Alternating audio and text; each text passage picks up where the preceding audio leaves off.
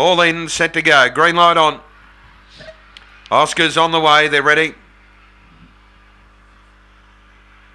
Racing. Lonnie Ladd flew out of the pink straight over to lead, settling over Rashani's Dream, Crymel and Silla. Very wide out Gotham's Hero on the rail, Mortal Sin, followed by Bavello Abalone. And between runners, Pepsi Cola on the corner. Lonnie Ladd a big leader. Five in front of Rashani's Dream running on. Six away, Crymel and Silla, Gotham's Hero, Mortal Sin and Pepsi Cola. Lonnie Ladd's well clear though, and Lonnie Ladd's going to romp away. Easily beats Rashani's Dream. Third either Crymel and Silla or Mortal Sin. There won't be much in that and uh, they finish clear of Abalone, Pepsi Cola, Bavello, and Gotham's Hero. 23.30 the run.